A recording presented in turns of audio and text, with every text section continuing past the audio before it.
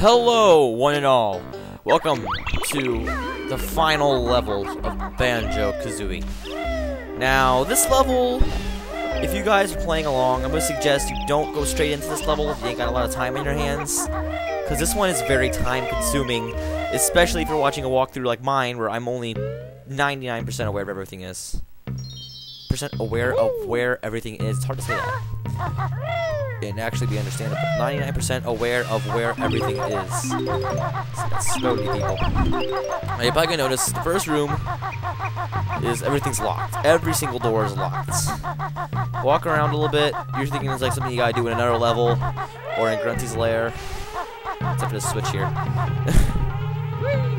the sword switch was like farther away, and it's just. I, I remember I missed the switch my first time playing. I was like, what?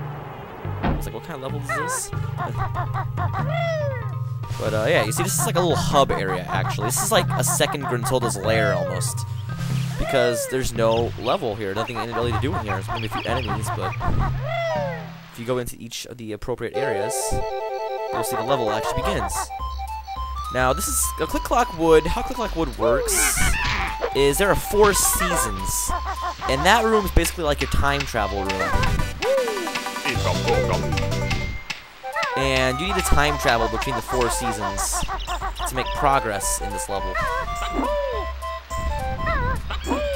I don't quite get how this works. I guess I, I, call it time travel. I guess the game doesn't really refer to it as time travel. I guess it's, it's weird. It's weird how this works. What you're gonna notice is going through the same place four times in a row. I don't think it's really worth it. I'll waste two gold feathers and get one gold feather. You haven't noticed yet, these birds are a lot like the ones in uh, Clanker's Cavern. Um, It's far as to this one which is vital. Sorry, I was trying to get my mic to pick up. Like it's picking up, it's just not picking up very well so I'm not being very loud. And if I'm not being very loud, that's not cool. We want gold feathers. Gold feathers are, and they might not seem like it right now, but later you'll discover that gold feathers are actually going to be one of your most valuable items in this level. Maybe not this, this one. Spring, they're pretty useless. But uh, all the other seasons are not. I'm not even going to use them in spring. Like, if I see one of them snappy plant things, whatever they're called, um, bear, bear snare, I think that's what they're called. I'm not even to waste my time with them.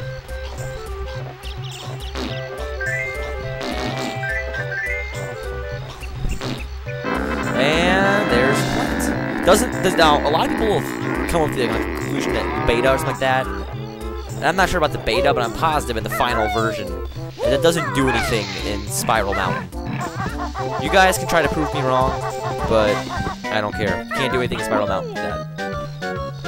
But if you haven't noticed yet, this is like the final level. It's like a crossover of the thing, some of the things you've already seen. It's kind of like Banjo's final final uh, stand. Actually, I think in the, promotional video for this game, they actually even say this is like his final stand world-wise. It's like everything he's already seen has come together into one big world.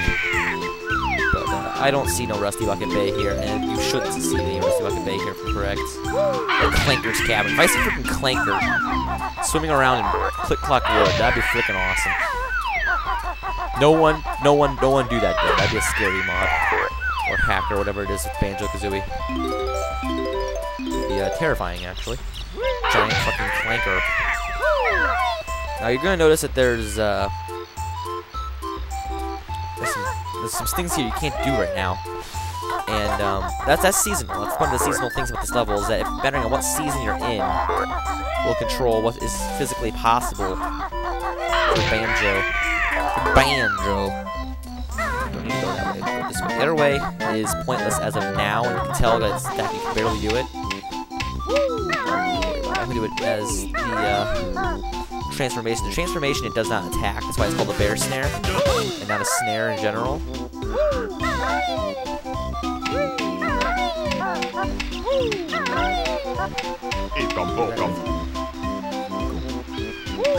yeah, those little green things, those pod things, are actually leaves. They're just curled up right now. They haven't bloomed yet.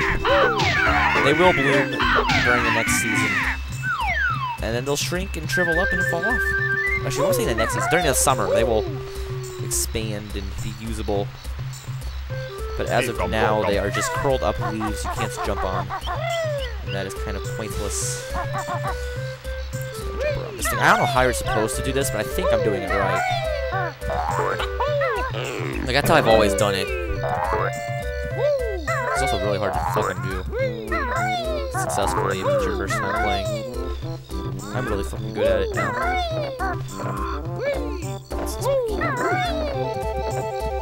Hello, Mumbo Token. My finger hurts. Bokam. Bokum. Indeed, sir. Indeed, Mumbo. Ekum bokum.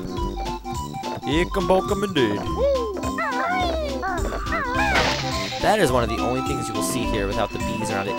Yeah, that's another thing. During the spring, I guess the bees don't come out. They don't come out during summer.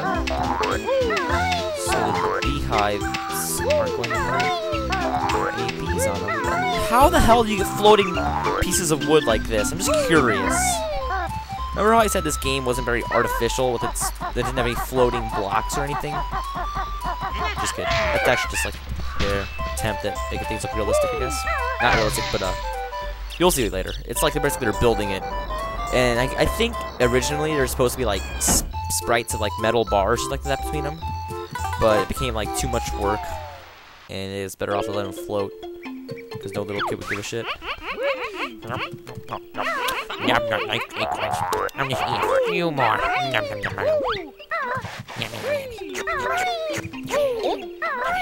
That was a terrifying sound effect. You guys are all going to see that in your nightmares now. Hear that in your nightmares, to be more precise.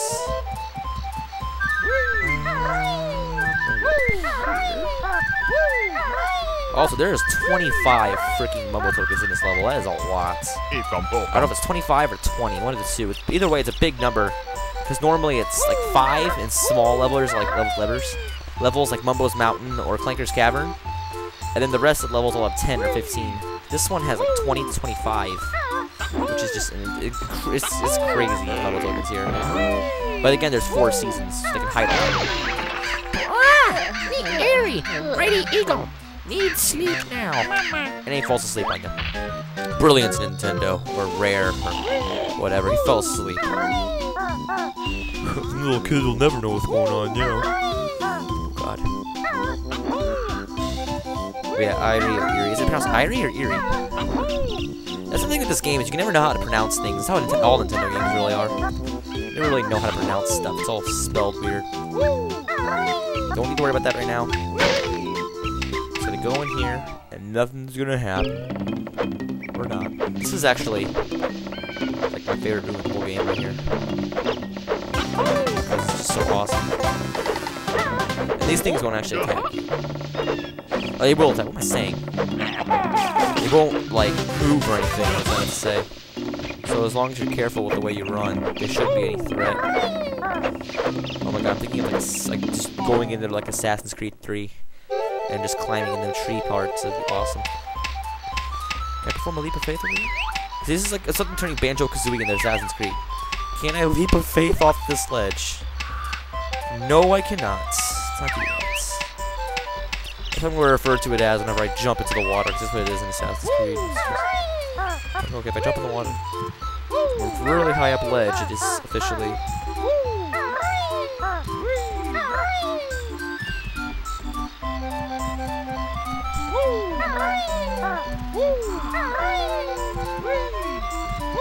crap.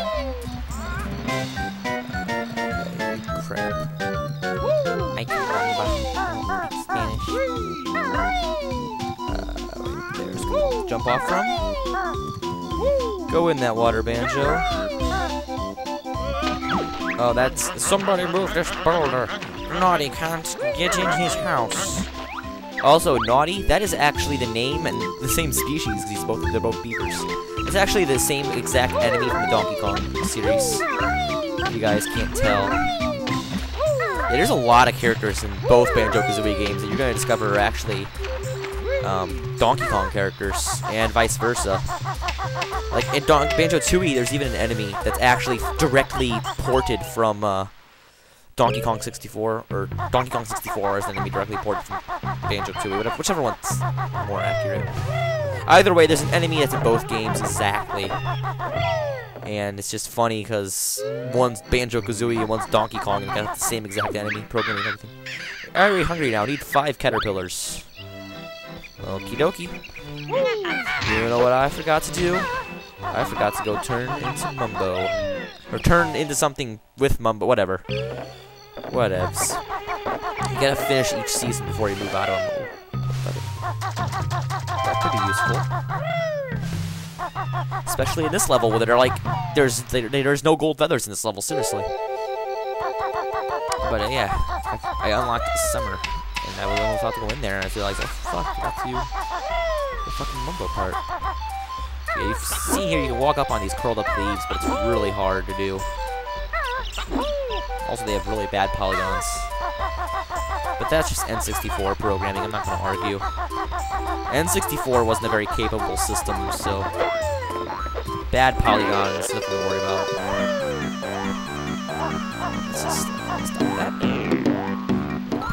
Quick. Yeah, another thing is you gotta look on top of Mumbo's, Mumbo's, Mumbo's huts here. One of them has a Jinjo. I'm not sure which season. I think it's winter. Which is uh, crazy. Because winter has uh, has uh, buffalo head.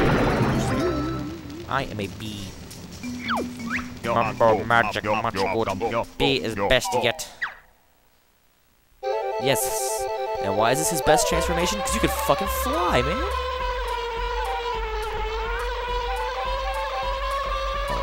Holds you in place. I didn't know that. Okay, A is death. That sound effect be annoying. As you can see, he won't snap you because you're a bee. And you know, bees pollinate plants, and it's like, oh, whatever. Fucking whatever. Also, there's a flying pad there you can't use. That's, uh... Oh, she's not there yet. That's weird.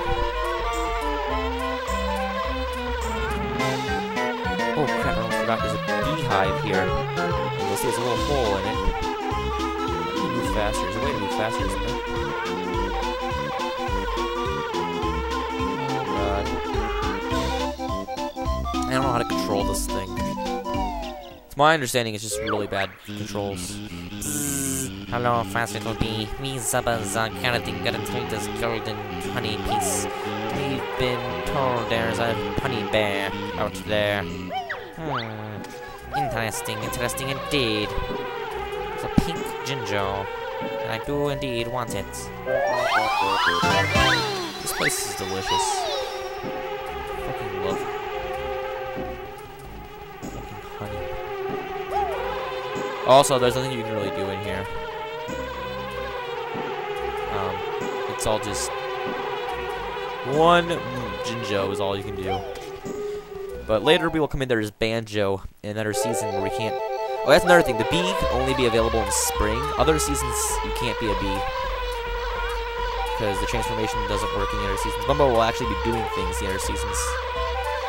Uh, oh, come on. Come on, game?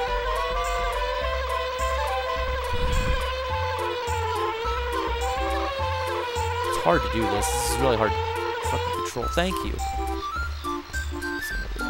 Slowly. Okay.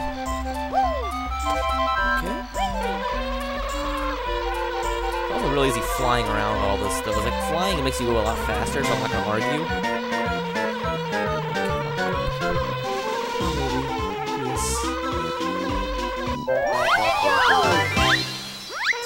Two already.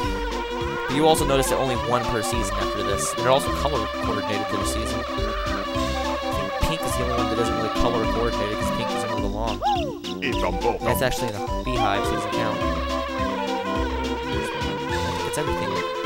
I'm not gonna transform back because it can save a lot of time not doing that. Oh crap! Oh snap! Oh snap! Go up there, Mr. B. There you are. That was fast. As you fly around looking for it.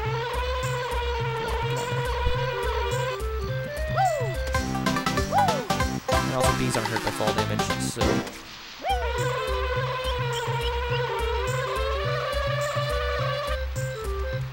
the bee is allowed in the hub area, but he's not allowed in the uh, other seasons. And I'll show you guys in a sec here.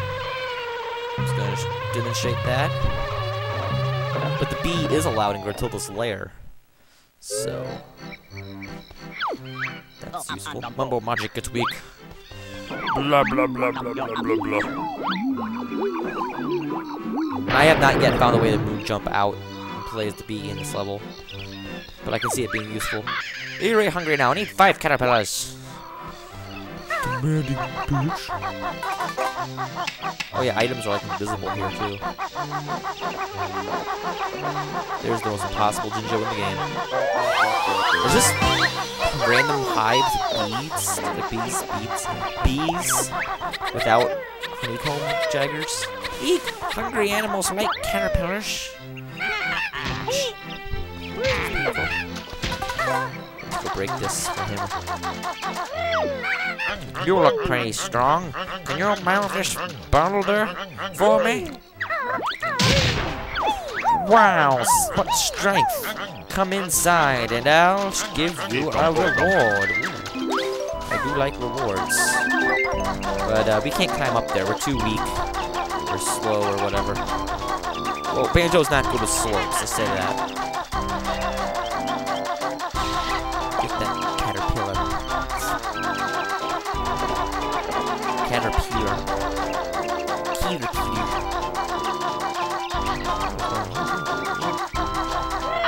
No caterpillar here, it's just a switch. Now we've unlocked falls this season, that's cool. Yeah, also, summer doesn't go very fast. It goes really fast. I think that may or may not be a joke. But, uh, yes, the summer goes really fast in this game. And, uh, like, it's, it's like not even half a level. Like, spring is half a level. This is just like a little, even a fraction of a level. Oh my god, I'm terrified of dying in this level.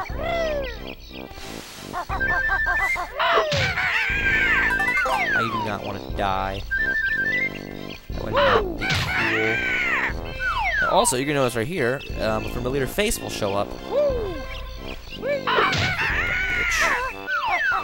You dumb birch. Oh no, it's you two again. Gobi thought he was safe here. Let me hit you, thank you. Let me hit you, thank you. Well, you stop doing that. It took me ages to find more water. Okay, also, um, this one ping right here, you'll need to have completed Gobi's Valley to get. So if you guys are just kind of watching just for this level, go back and do Gobi's Valley before you do this level, because, uh... He also says he's gonna... Oh, not yet, not yet. It's part later where he says he's gonna go to the Fire World. And, uh, the Fire World is actually a beta world that was removed, called Mount Fire Eyes, and it doesn't exist anymore. And from what people have seen, it looks like a pretty cool level. And to my understanding, I'm not sure if this is true, but it was supposed to be the fire side, or maybe even all of um, Hailfire Peaks in the second game. Like if it was all of Hailfire Peaks, it wouldn't have had the ice side, obviously, unless ice was pronounced ice, not fire ice. Oh my god! I just thought of something that no one thought of. Ouch! Thought of yet. Got.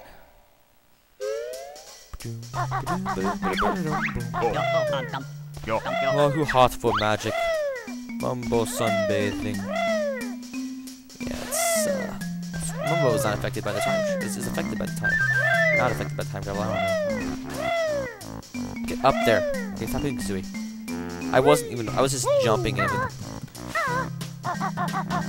Eat gum gum gum. Talking. That's good. I almost never fly in this game anymore. Like, not unless I actually have to. I'll never use them anymore, because they don't really... Like, I used to, like, just rely on flying to get around. But, uh... I don't think I'm like that anymore. Also, getting down from here is a true pain in the ass. And also, there's two paths to take. This sucks.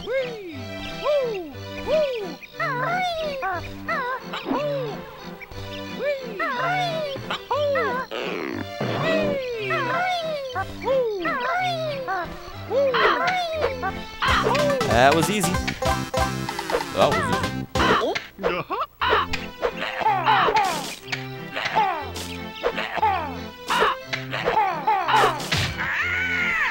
That was good enough, I guess. My god. This part, Eat the what are you doing? bottom. Wow. Ladies and gentlemen, if you're watching this video, you are lucky as heck.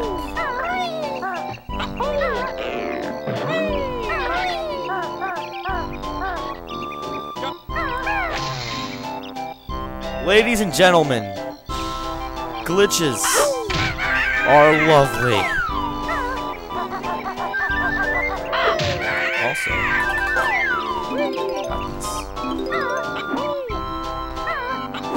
Guys in the next one, where we will conquer um the rest of this level. See you then.